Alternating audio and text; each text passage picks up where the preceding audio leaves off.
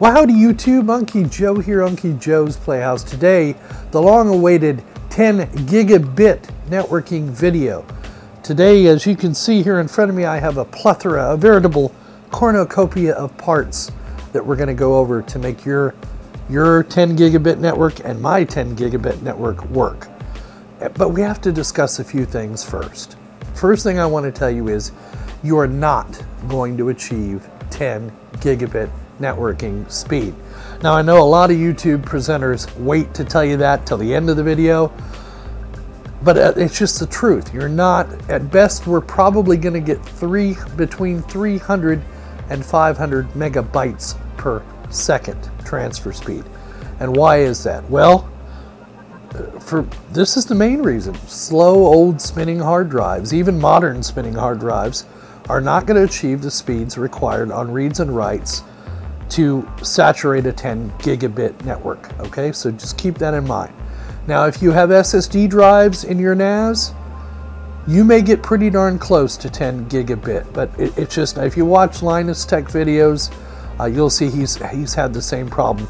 It's really hard to achieve gigabit speed. Linus has some very specialized storinator devices that that RAID drives, to put drives together in a RAID array, and they combine the speed of all the drives to achieve that kind of speed. And really, the only way you're going to achieve those speeds, 10 gigabit is what I'm talking about, is to have an array full of SSD drives.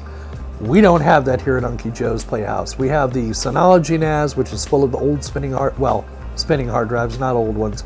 We have my Xpenology NAS, which has got spinning hard drives because the cost of SSDs is not low enough yet to replace my, uh, my drives in my NAS. So with that in mind, at best, we're probably going to achieve with spinning hard drives 300 megabytes per second. All right, so let's talk about the components that are going to be required to make this happen. Now, if you want, you can use Cat6 cables, okay? Cat6 cables right now are expensive. I don't know if you've priced them out. They're not overly expensive, but they, uh, they can be a little more expensive than the solution I'm going to present to you today.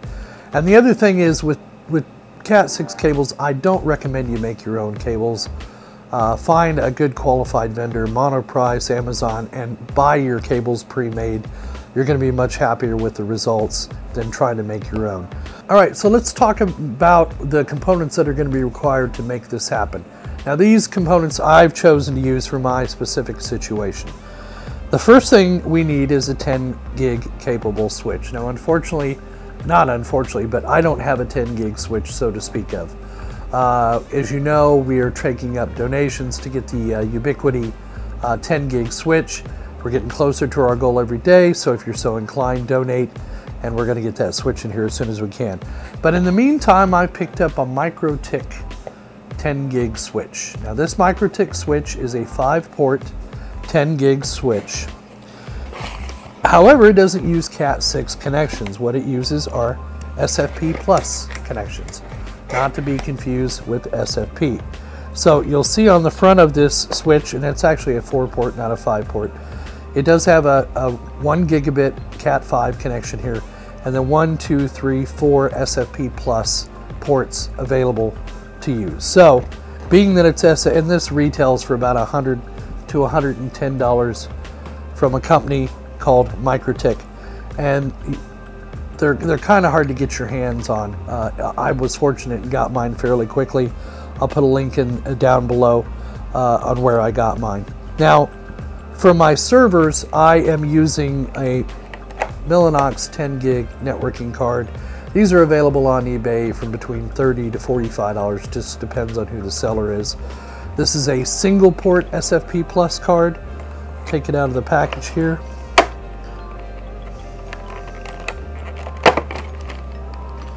This is a 10 gig SFP Plus card and it's got a single port on it. I have one of these in both of my Dell servers and then I have a uh, another one in my IBM server. This card is going to go into my Windows 10 machine.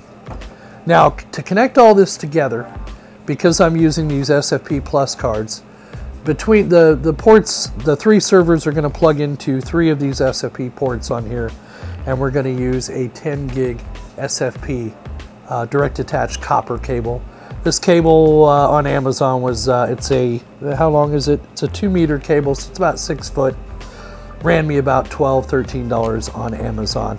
So that's what we're gonna use to connect all the servers up to this switch.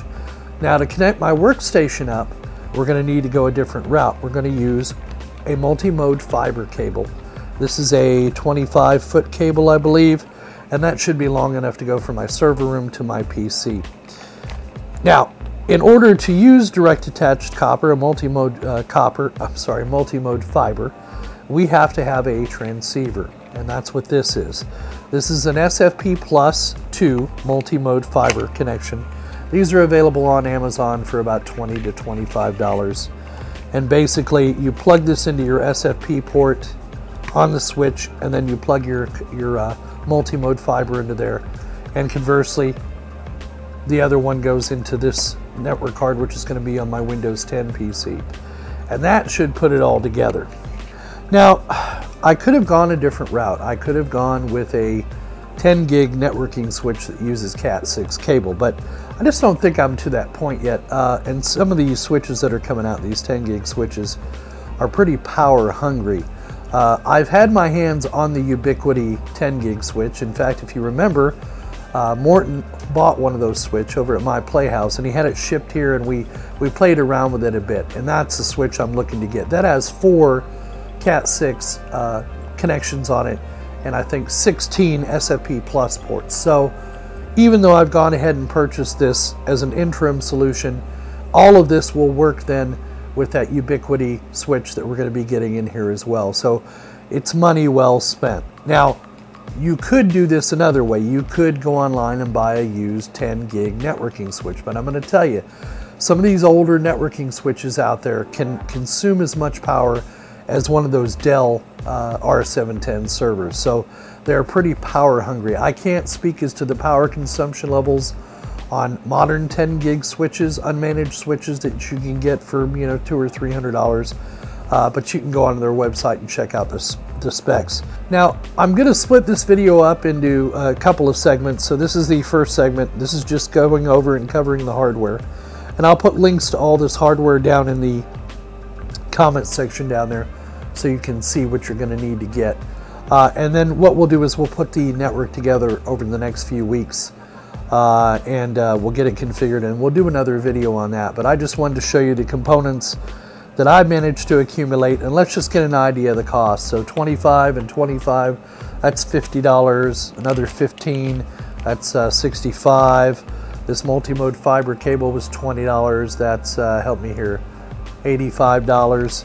We have $35 we paid for the Mellanox card, so that's 115 and then about 120 for the switch. So that's my investment so far and all the components that are going to be required to make this 10 gigabit networking dream of ours come true. But like I said at the beginning of the video, don't look for me to achieve those kind of speeds. You'll see a lot of people setting up these 10 gig networks and then they, they test them by creating a RAM disk that is, RAM is always faster than spinning or even SSD hard drives in some cases. So you'll see some of their test results they don't do this on purpose to fool people. They want to see they want you to see the full potential of speed you could get out of it. So, you know, if you have 32 gig RAM on one of your servers, you could set part of that aside as a RAM disk to do your testing with. I'm going to do real world testing with real world drives and SSDs to give you an idea of the speeds you can hope to achieve.